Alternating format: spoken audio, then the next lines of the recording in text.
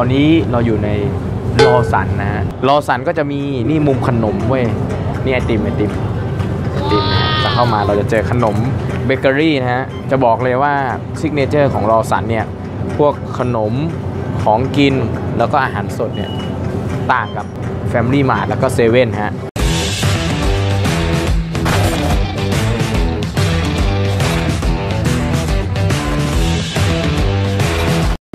นี่อันนี้เว้ยที่อื่นไม่เห็นนะฮะเห็นที่ Lawson นะฮะก็คือเป็น roll นะฮะแล้วก็เป็นครีม แล้วก็มีสตรอเบอรี่อยู่ข้างในนี่อันนี้นะฮะแล้วก็อันนี้เว้ยอันนี้โคตรน่ากินเว้ยคือพุดดิ้งชาเขียวแล้วข้างในเป็นช็อกโกแลตอย่างนี้นี่นี่ช็อกโกแลตอย่างนี้ไส้แฮแล้วก็ แต่ที่อันนี้นะฮะ แฟนบอกให้ลองนะฮะคือ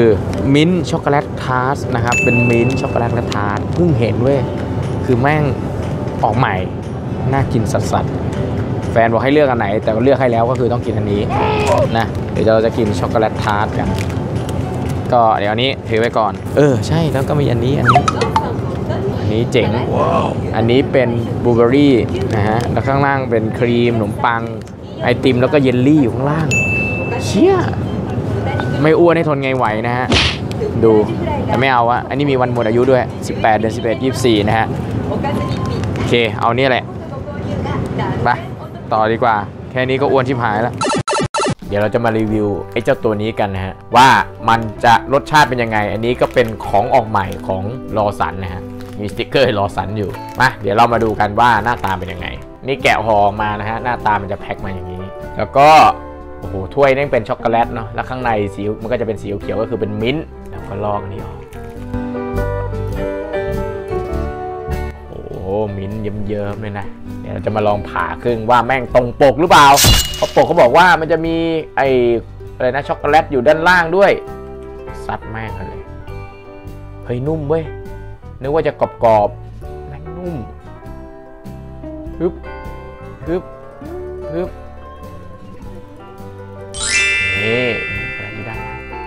จริงๆด้วย ทีนี้เราก็มาชิมกัน อืมเหมือนกินคุกกี้ ช็อกโกแลตที่แบบอะไรนะแบบเปียกๆอะอืม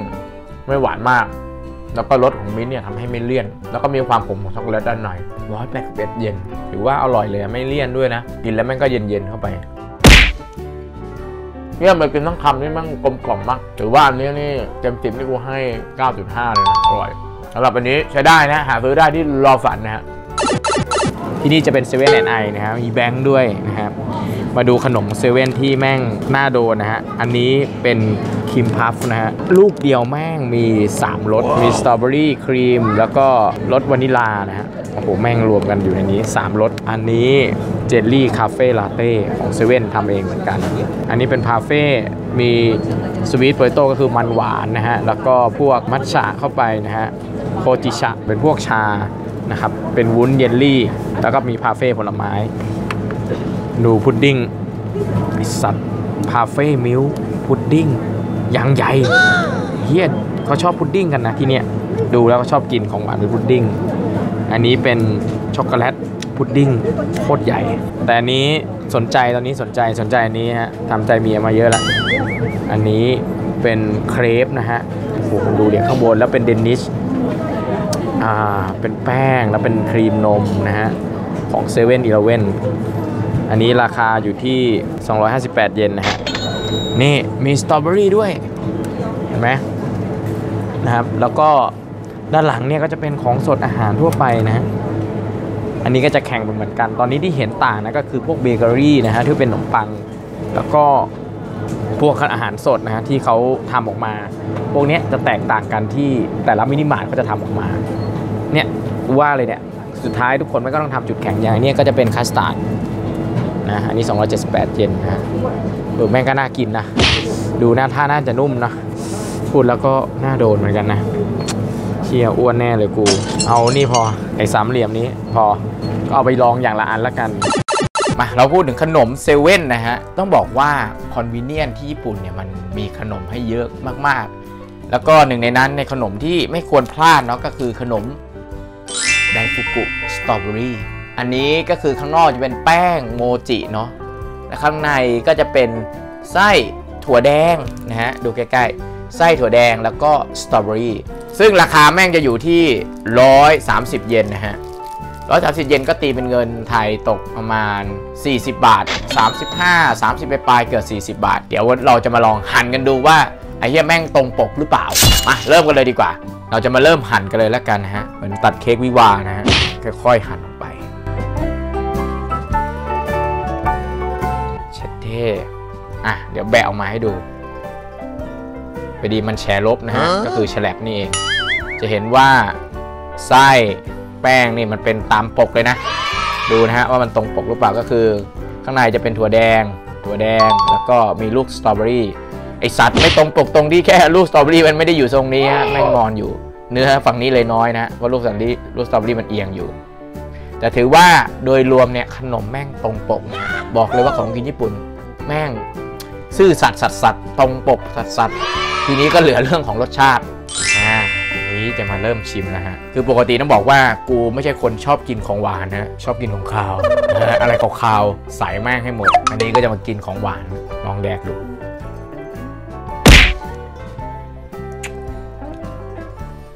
อืมไอ้เหี้ยสตรอเบอรี่แม่งยังสดอยู่เลยอะ่ะ คือกัดเข้าไปนี่สตรอเบอรี่แบบกรอบกรุบลงไปแบบมีความเปรี้ยวของสตรอเบอรี่ แล้วก็มีความหวานของไอตัวถั่วดำแล้วก็ความนุ่มของแป้งโมจิต้องบอกเลยว่าจริงๆ ขนมของญี่ปุ่นเองเนี่ยถ้าพื้นฐานเลยนะ ญี่ปุ่นเป็นประเทศที่ไม่มีอะไรเลย ก็จะมีแค่ข้าว มีถั่วนะฮะฉะนั้นขนมก็จะเป็นหลักๆ ก็คือจะเป็นแป้งที่ทำมาจากข้าวพวกโมจิเงี้ยแล้วก็เอาถั่วมาเชื่อม แล้วก็ปลูกสตรอเบอรี่นะเพราะญี่ปุ่นมันหนาวก็ปลูกสตรอเบอรี่ได้ ก็จะมีสตรอเบอรี่นะฮะอันนี้แม่งรวมกันเลยนะฮะถือว่า เป็นของพื้นเมืองจริงๆ ส่วนมากถ้าเป็นหน้าตาที่เราเห็นขนมปัจจุบันเนี่ยก็คือมันใช้วัตถุดิบนำเข้าหมด อันนี้เป็นวัตถุดิบจากญี่ปุ่นนะฮะ เป็นวัตถุดิบจากธรรมชาตินะฮะ ก็ถือว่ารสชาติค่อนข้างโอเคไม่หวานมาก แล้วก็เปรี้ยวของสตรอเบอรี่นะฮะ แล้วก็แป้งก็นุ่มหอม ก็สำหรับขนมอันนี้โมจิไดฟุกุสตรอเบอรี่นี้ถือว่าถ้าเต็ม 10เนี่ยกูให้สัก 8กะโหลกแล้วกันฮะ เพราะว่าถือว่าวัตถุดิบดีรสชาติไม่หวานมาก แล้วก็กินแล้วละมุนนะฮะ โอเค เราไปดูขนมชิ้นต่อไปกัน ต่อไปนะฮะ เราจะมาลองขนมของเซเว่นอีเลเว่นนะฮะ140เยนหรือตีประมาณ 40 บาท จะมาลองดูกันแหมเชดมันนุ่มมากอะ่ะ เดี๋ยวมาดูดีว่าแม่งตรงปกหรือเปล่านะฮะสามไส้เป็นยังไง ถึงวิธีชำแหละแล้วฮะชำแหละแม่งดูดิ โอ ไอ้เหี้ย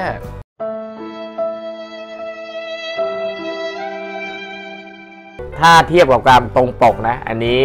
คือแม่งต่างจากปกประมาณเหมือนกัน 70%อะพูดง่ายๆ30%แม่งไม่เหมือนอะแต่ก็ถือว่ายังตรงปกอยู่ ใกล้เคียงเคียงแต่ว่ารูปลักษณ์ข้างในมันเพี้ยนไปหรือว่ากูกดมีดแรงไปวะอะทีนี้มันเป็นเรื่องของรสชาติขอลองคำแรกก่อน กินเนี้ยกินวิปครีมกับสตรอเบอรี่ คือมันรสรสหวานของตัวซอฟต์ครีมเนี่ยกับรสของสตรอเบอรี่เนี่ยมันตัดกันมันทำให้ความเปรี้ยวกับความหวานมันกลมกล่อมมากๆ ปกติไม่แดกหนมไม่อะไรพวกนี้เนาะแต่อยากลองไงคือมันก็ไม่หวานมากอะเจอสตรอเบอรี่นี่แม่งกลิ่นหอมมาก แล้วก็เนียนมากๆ หวานเปรี้ยวกำลังดีไอ้นี่ขนมปังก็นุ่ม ถ้าให้คะแนนอันนี้นะ สิบกะโหลกนะเต็มสิบกูให้ประมาณก็หกจุดห้าคือมันก็โอเคอะรสชาติโอเคเพียงแต่ว่าตรงปกแล้วรสชาติมันไม่ได้อร่อยมากเนาะไม่ได้โดดเด่นอะไรมาก ตอนนี้เราอยู่ใน Family Mart เว้ย คือ Family Mart เนี่ย ต้องบอกว่ามีของน่ากินนะ แล้วเป็นแบรนด์ Family Mart ก็เยอะ อย่างตรงนู้นจะเป็นอาหารสด เป็นเครื่องดื่มร้อนก่อนช่องแรกพอดีเราไปตรงนู้นไม่ได้ เดี๋ยวเผื่อพนักงานเห็นแม่งไม่ให้ถ่าย แล้วก็มาเป็นอาหารสด พวกของกินของคาว แล้วก็มาเป็นพวกท็อปปิ้ง นี่อันนี้ อันนี้น่าสนใจมาก เป็นพุดดิ้งเว้ย แล้วข้างบนเป็นเหมือนแบบเหมือน roll ขนมปังนุ่มๆอะ กินไปเนี่ยตักไปก็คือพร้อมขนมปังพร้อมกับพุดดิ้ง อันนี้เดี๋ยวจะเอาไปลองนะฮะ แล้วก็พวกเครื่องดื่มบางอันเนี่ยก็จะเป็นของ Family Mart อันนี้อันนี้จะเห็นเฉพาะของ Family Mart ชาไข่มุกนะฮะไม่ดีแฟนอยากกินโกโก้เนาะ เอาโกโก้นี้ไปแล้วกันนะฮะ นอกนั้นก็ จะไม่ต่างส่วนมากก็จะแข่งกันด้วยของสดนะของกินพวกเบเกอรี่ อันนี้เป็น frappe นะฮะ ก็คือจะเป็นกาแฟ frappe นะฮะ ก็คือกาแฟปั่นนะฮะ แล้วก็อีกอันหนึ่งก็คือเป็น banana fruit mix ก็คือว่าเราซื้ออันเนี้ยถ้วยเนี้ย แล้วเราก็เอาไปใส่นม แล้วก็ปั่นคนให้เข้ากัน มันก็จะเข้าที่ เดี๋ยวเราจะซื้อสักถ้วยจะซื้ออันนี้ไป ซื้อมาเสร็จเนี่ยเขาก็จะแกะฝาให้ หน้าตาจะเป็นอย่างนี้ แกะฝาให้เรียบร้อย แล้วเราก็ใส่นมลงไป ก็จะละลายเนี่ยมันก็จะละลายใส่นมลงไปอย่างนี้นมร้อนๆทีนี้เขาก็บอกว่าให้เอาหลอดอะคนหลอดก็คือไอ้หลอดนี้เนี่ยหลอดใหญ่เนี่ยเขาบอกให้หยิบมาแล้วก็คนทำแบบ self service มากกูก็นึกว่าแม่งจะปั่นให้กูกลายว่าเราต้องใส่นมแล้วก็มาคนเองก็ค่อยคนไปนะฮะเนื้อมันก็จะละลายรวมกับนม เออ เข้าใจคิดเนาะไหนๆก็มีเครื่องแล้วก็เลยจัดเลย กาแฟก็เหมือนกันก็คิดว่าคงใส่นม กัน ใช้นมเป็นตัวละลายเนาะทำให้มันเหลว แล้วก็คนเกล็ดน้ำแข็งเนื้อไอติมให้มันเข้า เพราะไอติมส่วนใหญ่ก็ทำจากนมเนาะผสมนมอยู่แล้วนะฮะเดี๋ยวขอนั่งคนกันหาที่นั่งคน เราก็คนมาได้สักพักแล้วนะฮะก็คือพอนมมันก็จะไปละลายเกล็ดน้ำแข็งนะนี่มันจะเป็นแบบฟรอปนะฮะ ก็คือเป็นเนื้อผลไม้ไอติม เป็นแบบเยลลี่นะฮะ เริ่มค่อยๆหลุดออกมานะฮะ ผสมกับน้ำนม ออกมาเป็นคล้ายๆกึ่งสลับบี้นะเริ่มเป็นเนื้อแล้วนะโอ้เย็นมือโอ้โอ้โอ้โอ้เย็นอื้อหืออร่อยมากหอมกล้วยมากมันผสมกล้วยคันตาลูปสับปะรดหอมมากอะโอ้โอ้โอ้อื้อหือผ่านหนาหนาวอะแต่รู้สึกว่ากินแล้วมันฟินมาก มันนุ่มเนื้อมันแบบเหมือนเยลลี่อะ แล้วก็ข้นๆอะ อร่อย ความอร่อยของไอ้เจ้านี่นะ ถ้าเต็ม10และด้วยราคาและด้วยวิธีทำด้วยนะ กูให้ประมาณ 9 คือแม่อร่อยมากอะ หอมกล้วยหอมแคนตาลูปมากแล้วมันเป็นเนื้อเยลลี่อะ ไม่หวานมาก โคตรฟินอะอร่อยมากฮะ ถ้าใครมาเฉพาะ Family Mart นะที่เห็นเนี่ย ต้องลอง เราเสียไปอันนี้น่าจะ 270 เยนอะ หรือประมาณ 80กว่าบาท ก็น่าลองนะคุณลองดูฮะ อันนี้ก็คือในจาก Family Mart ก็จะเป็นตัวพุดดิ้งแล้วก็ข้างบนจะเป็นชีสเค้กเนาะแหมดูหน้าตานะฮะ ดูดีมากนะเขาบอกตักมาเนี่ยจะเป็นคำอย่างนี้เลย อันนี้ตก 258 นะถ้า258เยนก็ตกประมาณ 70 75 บาท มาลองแกะกินกันดีกว่า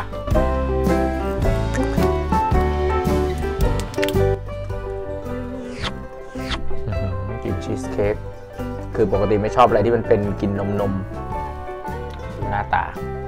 ชีสเค้กเนี่ยเขาบอกว่าจริงๆอันเนี้ยหันไม่ได้นะฮะเพราะว่าถ้าจะให้ดีเนี่ยเขาบอกให้แนะนำให้ตักกินพร้อมกับไอชีสเค้กข้างบนไปเลยมาเราค่อยๆตักแล้วก็กดลงไปให้ถึงถึงชั้นพุดดิ้งนี่บอกให้กินประมาณอย่างนี้นะเดี๋ยวลองดู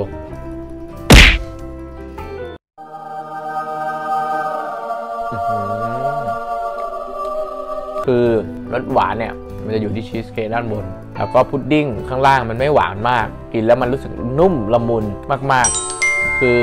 ไอตัวเนี้ยคือมันให้ความนุ่มหอมละมุนเนยนมแต่ขนาดกูไม่ชอบเนยนมนะกูยังรู้สึกว่ากูกินได้ต้องตักให้มันอย่างเงี้ยให้มันมีพุดดิ้งอย่างงี้กับขนมปังคู่กันอย่างเงี้ยอื้อหือพุดดิ้งนี่ทับละลายในลิ้นเลยถ้าถามว่ารสชาติ ให้คะแนนเท่าไหร่ ถ้าเทียบกับหน้าตานะ กูว่าถ้าเต็ม 10เนี่ยกูให้ประมาณสักให้8กะโหลกแล้วกัน คือมันมีความ create เนาะ แล้วก็ขนมชีสเค้กนี่หากินได้ ที่ญี่ปุ่นเยอะแยะ แล้วก็พุดดิ้ง มันไม่ได้ create อะไรมากมาย แล้วก็หน้าตาดูน่ากิน รสชาติโอเคแล้วกูว่าเนี่ยประมาณสัก 8 น่าจะโอเคนะฮะ ก็พวกขนมที่เราดูกันเนี่ย ก็ลองไปหาซื้อนะ เพราะว่าตาม convenient ก็เป็นอะไรที่คนญี่ปุ่นนิยม ซื้อหาความสะดวกเนาะคือบางคนไม่ไปกินข้าวร้านอาหารซื้อที่ convenient ก็อยู่ได้แล้ว หรือพวกสะดวกซื้อก็อยู่ได้เนาะฉะนั้นทางพวกสะดวกซื้อก็ต้องแข่งหาอะไรเมนูใหม่ๆ หาอะไรแบบอร่อยๆที่แบบไม่ต้องเข้าร้านอาหารมึงก็หาอร่อยได้ที่สะดวกซื้อ อันนี้คือจุดแข็งของสะดวกซื้อญี่ปุ่นเว้ย ก็เอามาฝากแต่เพียงเท่านี้เว้ย ถ้าชอบคลิปนี้นะ กดไลค์ กดแชร์ด้วยนะฮะ แล้วก็ติดตามได้ที่เพจนะครับ เวลดันการันตีตามนี้เลยนะฮะสำหรับคลิปรีวิวขนม จบในเพียงเท่านี้นะฮะ แล้วเจอกันคลิปหน้าฮะ เดี๋ยวไปล้างไตก่อนเนี่ยหวานเหลือเกิน